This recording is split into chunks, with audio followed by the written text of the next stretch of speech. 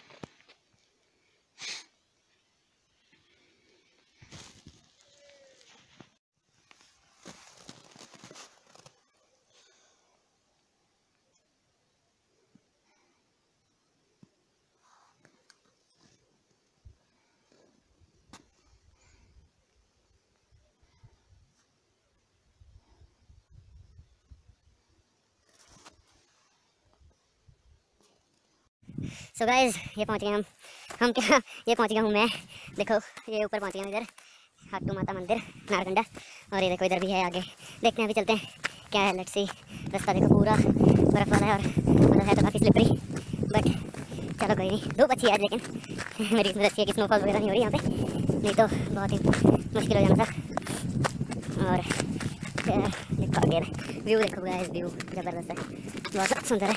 और बड़े बहुत काफ़ी ज़्यादा फिसल रहा हूँ यहाँ पे। तो क्योंकि देखो, पूरी स्नो और धूप की वजह से यहाँ पानी पानी टाइप सा ऊपर से थोड़ा पानी सा हो गया स्नो में, लेकिन चलो लेट्स सी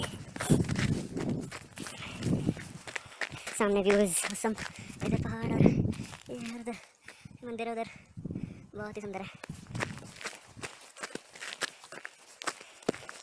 ये देखो, आपको स्नो की आवाज़ आ रही है मज़ा ये है कि अकेले कोई है नहीं यहाँ ऊपर।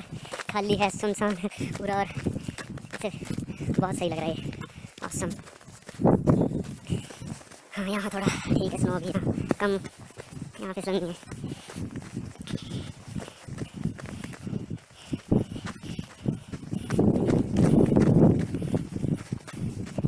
और यहाँ हैं हमें आगे।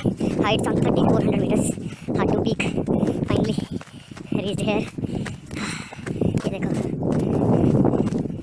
लेकिन चितकुल गए थे वो ग्यारह हज़ार तीन सौ बीस समथिंग का। ये पीक इधर ये आगे भी चलते हैं। देखते हैं ये ओ भाई, इधर पास सही व्यू है। ओ my god see the view